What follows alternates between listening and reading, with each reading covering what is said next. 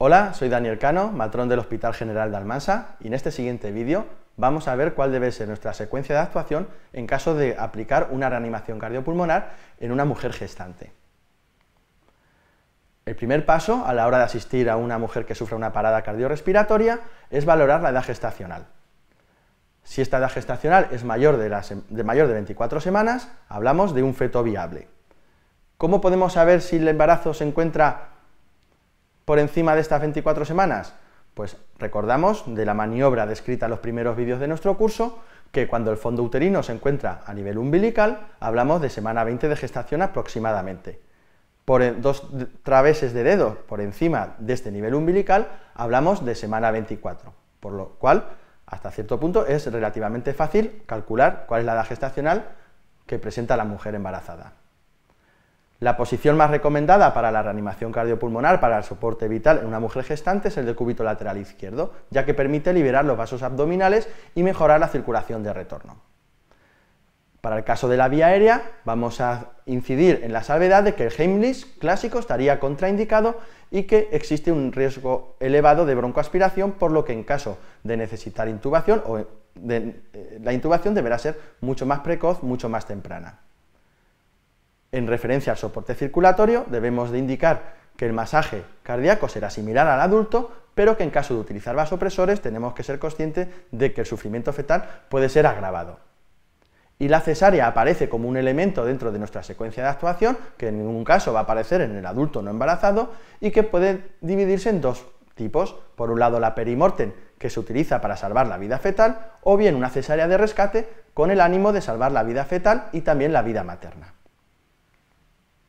Si vemos esta secuencia de actuación, corresponde con los factores clave de reanimación cardiopulmonar que vimos en el primer vídeo. Detallando más cada uno de los puntos de la secuencia de actuación en el soporte vital, vamos a hablar de la edad gestacional. Ya vimos en el anterior vídeo que si esta es mayor de 24 semanas, hablamos de un feto viable. Y también vimos cómo calcular, palpando el foto uterino, si nos encontramos por encima o por debajo de esta edad gestacional. Es muy importante calcular la viabilidad fetal en caso de eh, una reanimación cardiopulmonar en una mujer gestante, porque si el embarazo se encuentra por debajo de la semana 24, nuestros esfuerzos van a ir destinados a preservar la vida de la madre.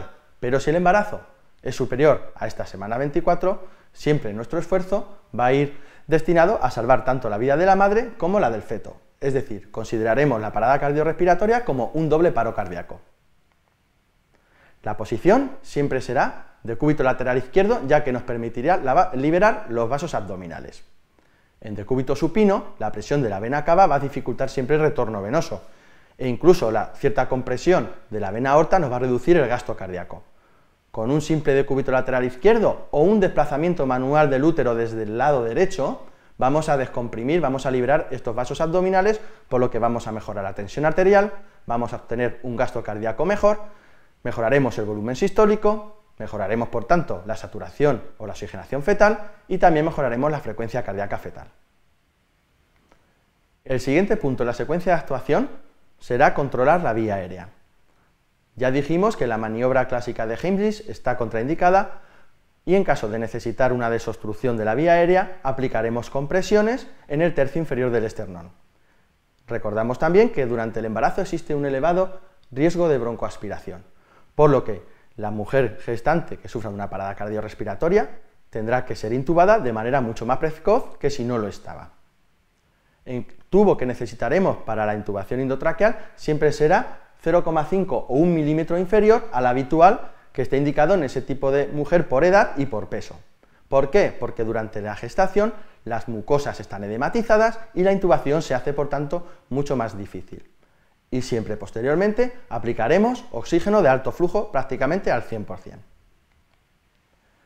En cuanto al soporte circulatorio, reseñar que el masaje cardíaco será similar que en el adulto no gestante, que el uso de vasopresores pueden agravar el sufrimiento fetal y no debemos de obviar el hecho de que en el mundo fallece aproximadamente una mujer por una hemorragia obstétrica cada 7 minutos.